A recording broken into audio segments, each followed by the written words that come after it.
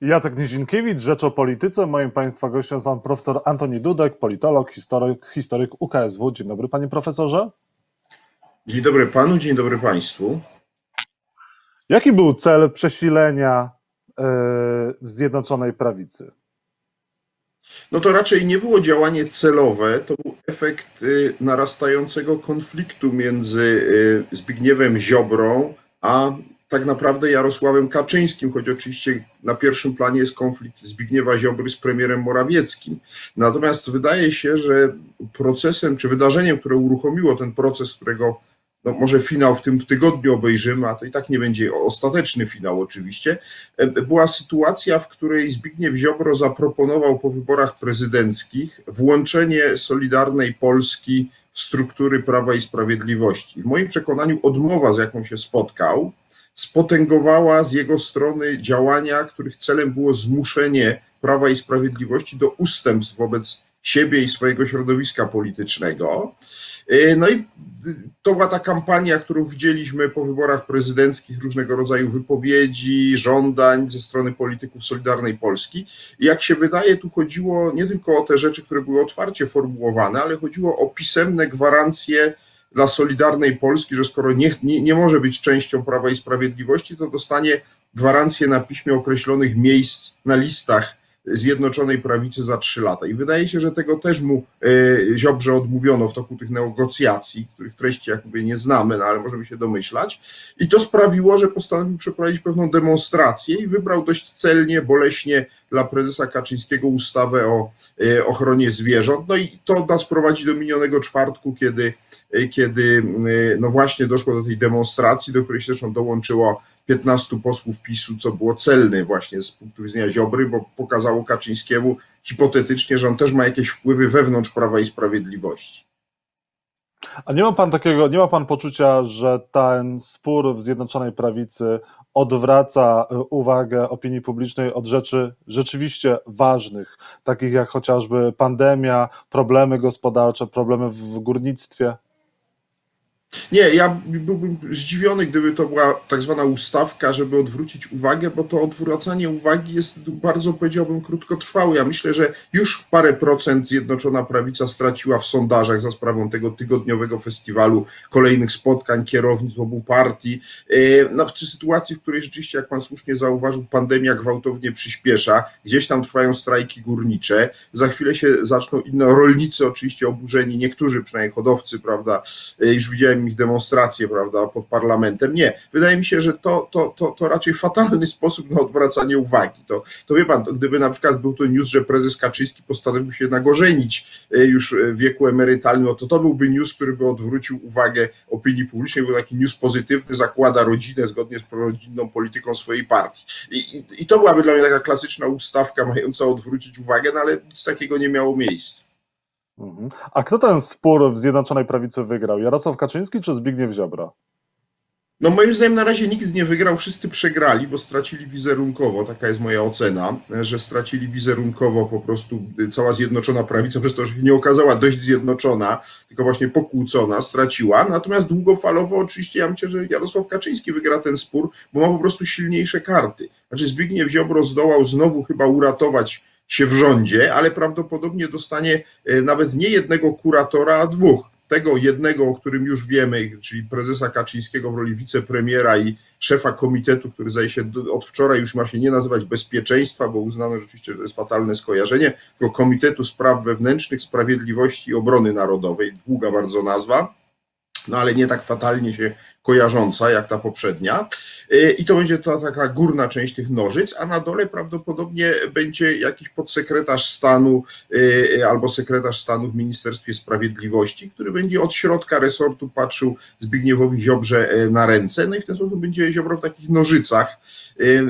I, I, wydaje mi się, że to nie będzie jego sukces. On miał bardzo komfortową sytuację dotąd w Ministerstwie Sprawiedliwości. Tam byli wyłącznie politycy Solidarnej Polski. Nikt mu nie przeszkadzał, a teraz będzie miał właśnie nie tylko nad sobą prezesa Kaczyńskiego, któremu będzie mu trudniej ignorować niż premiera Morawieckiego, bo powiedzmy jasno, wydaje się, że ten spór miał też ten wymiar, że po prostu Zbigniew Ziobro zaczął ignorować kompletnie premiera, no nie odpowiadać na jego polecenia, czy, czy wręcz nie stawiać się na spotkania z nim, no będzie mu trudniej odmówić Jarosławowi Kaczyńskiemu, natomiast być może Zbigniew Ziobro naprawdę uwierzył, że ten konflikt, który się właśnie kończy, to jest jego zwycięstwo, no i wtedy oczywiście za jakiś czas da prezesowi Kaczyńskiemu jako wicepremierowi odczuć, że, że dalej go nie traktuje jako swojego realnego szefa i wtedy będziemy mieli powtórkę, stąd mówię, ten, ten konflikt się nie kończy w tym tygodniu, on się kończy jakiś jego etap, natomiast yy, prawdopodobnie przez te trzy lata Zbigniew Ziobro jeszcze spróbuje po raz kolejny jakoś się przeciwstawić Kaczyńskiemu i nie wykluczam, że wrócimy do tej twardej wersji, która była przecież w tym tygodniu rozważana, czyli jednak usunięcia Ziobry na jakiś czas z rządu, przetestowania opcji mniejszościowej, zobaczenia jak się będą ci posłowie Solidarnej Polski w sytuacji takiego głębokiego kryzysu y, zachowywać. Być może do tego jeszcze dojdziemy, no to jest wszystko kwestia cierpliwości Jarosława Kaczyńskiego i poziomu uległości Ziobry. Jak to będzie w nowym sezonie, który się zacznie po tym tygodniu, kiedy prawdopodobnie panowie jakąś umowę podpiszą, no to czas pokaże. Myślę, że oni sami jeszcze nie wiedzą. Zakłada Pan wcześniejsze wybory parlamentarne? Może dojść do takiego przesilenia ponownego, że będzie niezbędne przeprowadzenie e, wcześniejszej elekcji?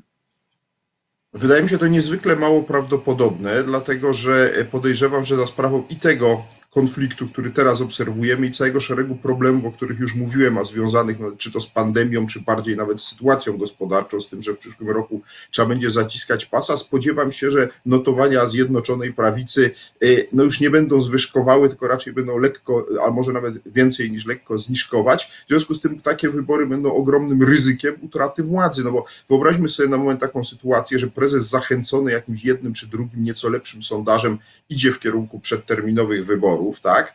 Y, przeprowadza je oczywiście już nie mając na listach ani gowinowców, ani ziobrystów. I nagle się okazuje, że w efekcie tych wyborów ma na przykład 215 albo 220 mandatów i musi rozmawiać z Konfederacją, no bo to jest realnie dzisiaj potencjalny rozmówca, żeby zbudować większościową koalicję. No to pytanie, po co y, byłoby przechodzić przez tą całą rzekę wyborczą, skoro można dzisiaj ziobrystów usunąć w obecnym Sejmie w razie jakiegoś głębszego kryzysu i prowadzić obecnego Sejmu, ściągać jakichś pojedynczych posłów, czy to z PSL-u, czy z Konfederacji, czy jeszcze z innych ugrupowań i uściubolić te powiedzmy kilka e, czy kilkanaście mandatów, bo do końca nie wiemy ilu tych ziobrystów, gdyby naprawdę Ziobro został na twardo usunięty e, z e, koalicji, ilu by zostało przy nim, a ilu by jednak zostało przy PiSie, bo jak wiemy doświadczenie Jarosława Gowina jest no, nie najlepsze. To znaczy, wydaje się, że, że Gowin jednak stracił częściowo kontrolę nad swoją partią, chociaż jest to dość ukrywane i my do końca nie wiemy, ilu tak naprawdę dzisiaj posłów porozumienia jest bardziej przy Kaczyńskim, a jeszcze ciągle przy Gowinie. To czas pokaże, ale jak mówię, Zbigniew Ziobro yy, chyba, znaczy inaczej, Jarosław Kaczyński nie, na razie woli tego nie sprawdzać, bo wydaje się, że jakoś mu się udało z Ziobrą dogadać na tym etapie, powtarzam, da jak długo czas pokaże. To pan o zniżkującym poparciu pra, dla Prawa i Sprawiedliwości, dla Zjednoczonej Prawicy. Zniżkującym na rzecz kogo? No to jest pytanie, na które oczywiście nikt nie potrafi odpowiedzieć. Ja myślę, że to będzie szło w różnych kierunkach. Część będzie szła w kierunku Konfederacji, część będzie szła na lewo, mówiąc wprost, czyli albo w kierunku powiedzmy y, y, koalicji obywatelskiej, albo albo nawet dalej w kierunku lewicy. No najmniej wydaje mi się tutaj wzrost poparcia PSL-u prawdopodobny, bo tą szansę na zbudowanie tego nowego centrum chyba e, przepadły wraz z bardzo słabym wynikiem Władysława Kośniaka-Kamysza. E, ale no gdzieś ci wyborcy będą odchodzili, ale też, żeby jasność, ja nie prorokuję jakiegoś załamania sondażowego e, PiSu w tej chwili. Mówię tylko, że raczej będzie pewna zniżka związana no, z tym, co nas czeka w przyszłym roku. Już się mówi naprawdę o składkowaniu umów zleceń, no i pewnie będą inne obciążenia podatkowe, no bo skądś te ośrodki na e, programy społeczne trzeba wziąć ja już nie chcę mówić o tym, że są zapowiedziane kolejne, których jeszcze dotąd nie było, na przykład czternastka, y, czternasta emerytura. Y, y, przypomnę, że to, to jest mniej więcej 12 miliardów złotych, taka jedna dodatkowa emerytura. I teraz jest pytanie, skąd w sytuacji tak ogromnego zadłużenia i tegorocznej recesji w przyszłym roku się te środki znajdą. Więc albo trzeba będzie jednak wygenerować te środki skądś, albo trzeba będzie powiedzieć wyborcom, no niestety nie będzie już tej czternastki, którą obiecaliśmy, no i to będzie przykra wiadomość, która zawsze zawsze skutkuje jakąś częścią e, oskarżonych, znaczy rozczarowanych. No, więc zobaczymy. No, w każdym razie sytuacja gospodarcza rysuje się w niejasnych barwach, ale z całą pewnością no, musimy zapłacić koszt tego, co się już wydarzyło. Ja przypomnę, że wiceminister finansów, pan Patkowski, oszacował tegoroczne koszty dla budżetu w wszystkich postaciach walki z koronakryzysem na 260 miliardów. To jest gigantyczna kwota. Oczywiście to nie, nie jest tylko sam deficyt budżetowy, który jest niższy, ale to są te zobowiązania, które y, Polski Fundusz Rozwoju zaciągnął i tak dalej. To jest, to jest kwota naprawdę no, przygniatająca, a to jest kwota za tak naprawdę tylko pół roku. I teraz nie wiemy, co będzie w najbliższych miesiącach, jak Pan słusznie powiedział, y, pandemia nie zwalnia i w związku z tym może lockdownu globalnego nie będzie, takiego ogólnopolskiego, no ale możliwe są lockdowny lokalne, jeśli one dotkną dużych miast, a tego nie można wykluczyć, no to to będzie oczywiście skutkowało potężnymi kosztami kolejnymi ekonomicznymi. Panie profesorze, a Jarosław Kaczyński w rządzie to jest osłabienie Mateusza Morawieckiego, osłabienie pozycji premiera? No z całą pewnością nie wzmacnia go to, no bo cóż to pokazuje nam jako obserwatorom sceny politycznej, że Mateusz Morawiecki nie był zdolny do, do, do poradzenia sobie z ministrem Ziobrą i potrzebuje wsparcia w postaci Kaczyńskiego w roli wicepremiera, co też czyni go y, dość dwuznacznej sytuacji, bo wszyscy wiedzieliśmy, że dzisiaj, y, czy do dzisiaj y, Kaczyński był czymś w rodzaju nadpremiera, że we wszystkich ważniejszych sprawach i premier, i ministrowie chodzili do, na Nowogrodzką, to teraz to zostanie usankcjonowane. Ja powiem tak, mnie się to osobiście podoba, bo ja uważam, że w ogóle to nas zbliża do sytuacji normalnej, w której w ogóle Jarosław Kaczyński powinien być premierem. Bo ja jestem zdania, że w takiej w państwie demokracji, demokracji parlamentarnej, lider zwycięskiej partii zostaje szefem rządu, oczywiście jeśli to jest system parlamentarno-gabinetowy, a taki z grubsza mamy w Polsce z pewnymi modyfikacjami.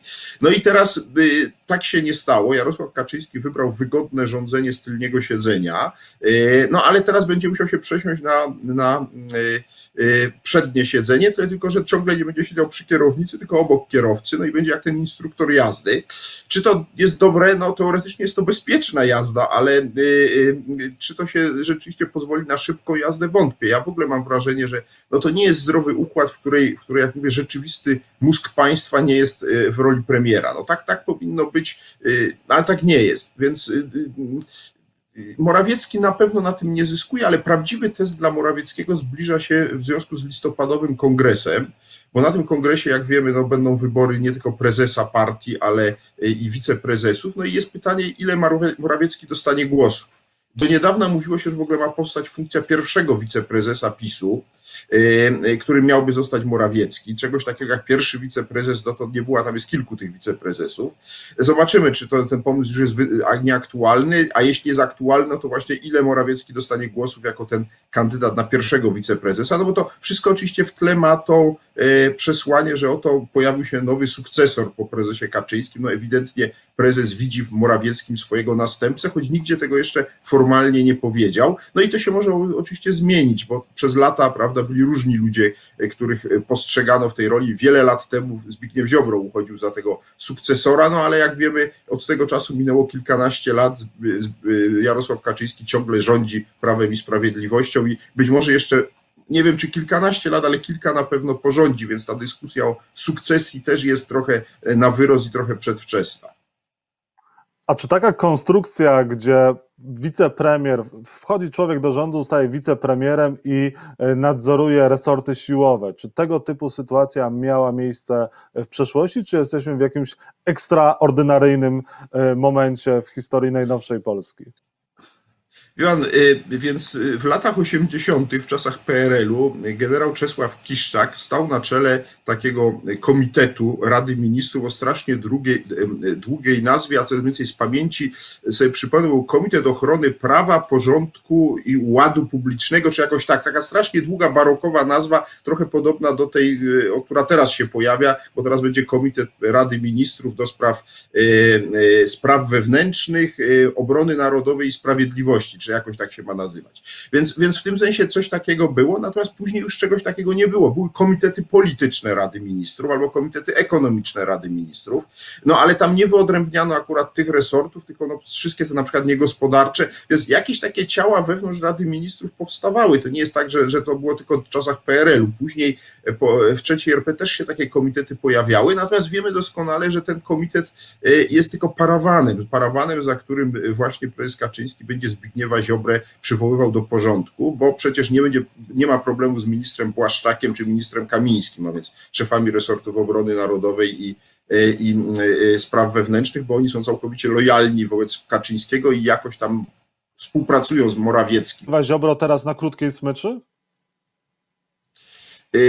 Zobaczymy, czas pokaże, czy rzeczywiście on jest trzymany na krótkiej, czy będzie czekany na krótkiej smyczy. Na pewno taka jest intencja prezesa Kaczyńskiego, żeby Ziobrę przywołać do porządku, yy, ale czy to się uda, nie wiem, bo, bo my nie wiemy, co tak naprawdę myśli Zbigniew Ziobro o swoich szansach. No, widzimy sondaże, zrobiono znowu sondaże yy, teraz w czasie tego kryzysu. Solidarna Polska ma tam nieco ponad 1% poparcia, no ale być może Zbigniew Ziobro nie wierzy w te sondaże, wierzy, że samodzielnie jest w stanie odegrać większą polityczną rolę niż te sondaże, bo przecież te sondaże nie są nowością. Takie sondaże są wielu lat robione co jakiś czas, się wyodrębnia tych koalicjantów PiSu, takich półkoalicjantów, ja ich nazywam półkoalicja, półkoalicjantami, no i oni tam mają czasem e, do 2%, czasem właśnie 1,5%, a są takie sondaże, w których nawet 1% nie mają. Czyli widać, że są głęboko poniżej progu wyborczego, no i Zbigniew Ziobro powinien z tego wyciągnąć wnioski, że i tak ma pewne szczególne warunki, które wynikają zresztą z błędu prezesa Kaczyńskiego, bo z czego się bierze ta uprzywilejowana pozycja Ziobry e, i Gowina? No z faktu, że rok temu, kiedy Jarosław Kaczyński układał listy wyborcze e, do e, wyborów parlamentarnych Zjednoczonej Prawicy, dał zbyt wielkie możliwości i porozumieniu Gowina i Solidarnej Polsce. Polsce. To znaczy założył, że z tych słabych miejsc, bo oni tam dostali częściowo słabe miejsca, oni się nie dostaną do parlamentu. Tymczasem i Gowinowcy i Ziobryści wykazali się w kampanii wyborczej ponadprzeciętną aktywnością i to było bardzo widać e, w stosunku do kandydatów PiSu. W efekcie często przeskakiwali ich na tych listach Zjednoczonej Prawicy, zdobywając mandat. No efekt był taki, że e, w tym Sejmie prezes Kaczyński ocknął się z e, znacząco większymi zespołami posłów i porozumienia i Solidarnej Polski. W poprzednim Sejmie to było po kilku posłów, teraz to jest po 18, czy nawet 19 jest w tej chwili ziobrystów. To jest, to jest rzeczywiście no, znacznie większa grupa przy utrzymaniu dotychczasowej liczby posłów, bo Zjednoczona Prawica ma tyle samo posłów w obecnym Sejmie, co w poprzednim, czyli 235, a zatem tu znaczenie kilkunastu posłów jest już olbrzymie, bo oni rzeczywiście pozbawiają rząd większości. Gdyby, jak na co liczył Kaczyński, Zjednoczona Prawica miała około 300 mandatów, no to to już nie byłoby takie ważne. Stąd zresztą właśnie między innymi moim zdaniem wynikał ten brak entuzjazmu widoczny po ogłoszeniu ubiegłorocznych wyników wyborów parlamentarnych na oczach czy na twarzy prezesa Kaczyńskiego. On ewidentnie liczył na znacznie lepszy wynik, no i teraz już wiemy dlaczego, o co mu też chodziło, że chodziło o to, że on nie do końca był pewny lojalności tych dwóch małych partyjek, a one się wzmocniły. Panie profesorze, a dlaczego Jarosław Kaczyński staje na czele resortów siłowych, znaczy on będzie kontrolował te resorty siłowe, skoro nie ma problemu z y, ministrem Błaszczakiem czy ministrem Kamińskim, jak pan wspomniał, a na przykład nie staje na czele resortu zdrowia, gdzie kwestie zdrowotne, pandemii są żywotnym problemem teraz w Polsce? Znaczy, odpowiedź jest bardzo prosta. Po pierwsze, to jest parawan. Ten komitet jest parawanem, jak już mówiłem, y, za którym trzeba będzie, trzeba było wymyślić jakiś mechanizm właśnie, który by uzasadniał nadzór wicepremiera Kaczyńskiego nad ministrem Ziobrą. A po drugie, to odpowiada osobistym zainteresowaniem Kaczyńskiego. No, Kaczyński y, specjalnie się nie interesuje y, tymi sprawami, jak na przykład służba zdrowia. Kiedyś przed laty, kiedy Kaczyński był premierem, w KPRM-ie istniał taki mechanizm, który zresztą w trakcie właśnie premierostwa Kaczyńskiego zlikwidowano, bo go wprowadził jego poprzednik Kazimierz Marcinkiewicz, a mianowicie e, był udostępniany publicznie e, lista gości premiera. Kto do premiera przychodzi? I Rafał Matyja, profesor Rafał Matyja to odkrył i opisał. I wyszło, że tak naprawdę e, właśnie u premiera Kaczyńskiego najczęstszymi gośćmi byli e, e, szefowie służb specjalnych, minister spraw wewnętrznych, minister obrony narodowej, prezes Instytutu Pamięci Narodowej i jeszcze no, osoby generalnie związane z tą, z tą powiedziałbym, siłową częścią rządu. Natomiast praktycznie w ogóle tam nie było ministra finansów, nie było dużo ministrze zdrowia czy rolnictwa. Takie osoby się u premiera Kaczyńskiego nie pojawiały, bo to go po prostu nigdy nie interesowało albo interesowało w ograniczonym stopniu. Więc dzisiaj spodziewanie się, że on będzie się zajmował Ministerstwem Zdrowia jest, jest oczywiście naiwnością. Mimo, że to jest oczywiście szalenie ważny temat, to mam wrażenie, że to on zostawia jednak premierowi Morawieckiemu. Niech on nadzoruje ministra Niedzielskiego. I, osta- i ostatnie kwestie, a proszę powiedzieć, opozycja, jak sobie radzi opozycja? Dzisiaj ma być prawdopodobnie wybrany nowy przewodniczący klubu e, Koalicji Obywatelskiej. Przewodniczący klubu no, parlamentarnego. widzimy, widzimy, że opozycja jest w głębokiej defensywie, jednak ta przegrana w tym czwórboju wyborczym sprawiła, że, że politycy opozycji e, no nie, muszą się jakoś na nowo poukładać. Tu najwię, najbardziej to widać w przypadku Koalicji Obywatelskiej i Platformy Obywatelskiej, ona jest najsilniejsza, więc na nich są skupione oczy opinii publicznej i mediów, a mniej się interesujemy, co się dzieje w PSL-u czy na Lewicy. Ale chcę powiedzieć tak, że na przykład PSL moim zdaniem przeżył teraz po wyborach prezydenckich e, próbę e, rozłamu, e, którą podejrzewam, że chciał dokonać prezes Kaczyński. On o tym nie, właśnie półotwarcie powiedział w wywiadzie, że, że przedstawiliśmy oferty PSL-owi, e, no ale e, e, Kośniak-Kamysz się okazał inny niż jego poprzednicy, a zwolennicy sojuszu z nami są tam w mniejszości. No to było w domyśle, PSL był testowany w ogóle pod kątem spójności i jakoś to przetrwał i to można powiedzieć, że to jest najjaśniejsza informacja z obozu opozycji, którą można podać z ostatnich tygodni, dlatego że no, Koalicja Obywatelska, Platforma Obywatelska zajmuje się sama sobą, no i te właśnie korowody wokół wyboru nowego przewodniczącego klubu są tutaj najlepszym przykładem. No i teraz, jak rozumiem, powstanie taki trójkąt, y, Borys Budka, Rafał Trzaskowski, ten przewodniczący klubu i z tego trójkąta, oby to nie był trójkąt bermudzki, ma się e, urodzić jakiś nowy pomysł Platformy na ofensywę. Mają moim zdaniem na to trzy lata, więc to się wydaje sporo czasu. E, Natomiast jest pytanie, no, co będzie się działo z ruchem Hołowni, czy on będzie tracił poparcie, czy przeciwnie będzie je zyskiwał, bo jeśli by je, by je zyskiwał, to Platforma będzie no, w dość nerwowym e, w nerwowej sytuacji zagrożenia, choć kiedyś miała takie zagrożenie ze strony nowoczesnej, jak wiemy, poradziła sobie z nim. Także ja myślę, że tak naprawdę opozycja będzie, tak jak to Donald Tusk powiedziała, czekać biernie, e, aż PiS się przewróci o własne nogi i wtedy władza jej spadnie, e, spadnie e, bez większego wysiłku w ręce. Czy tak będzie, no to przeka- przekonamy się na przestrzeni najbliższych trzech lat. E, Tutaj na razie nic szybko się nie wydarzy w opozycji. Profesor Antoni Dudek był Państwa i moim gościem. Bardzo dziękuję za rozmowę. Dziękuję bardzo, pozdrawiam.